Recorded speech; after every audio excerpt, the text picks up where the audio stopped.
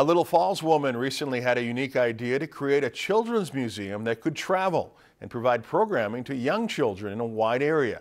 The Brainerd Lakes Area Children's Museum launched this fall after Kate Courtney moved to Little Falls from Iowa with her husband and two young sons and noticed that there were no children's museums in the area. The Traveling Museum hosts open playtimes with a variety, a wide variety of activities at libraries and locations around the Brainerd Lakes area.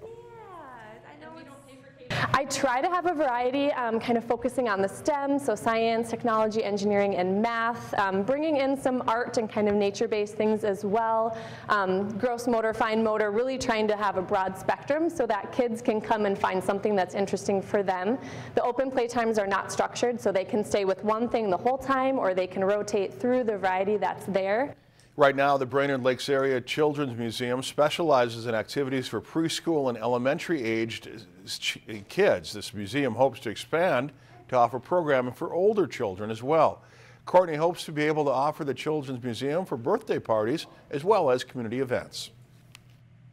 I think a lot of the challenges parents and families face nowadays is really unplugging, coming off of the screens and just getting kids playing in unstructured play. And so just giving them the opportunity of these playtimes. Come, bring your children, just let them lead their own play uh, is so beneficial for kids.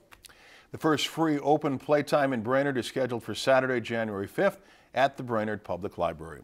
If you enjoyed this segment of Lakeland News, please consider making a tax-deductible contribution to Lakeland PBS.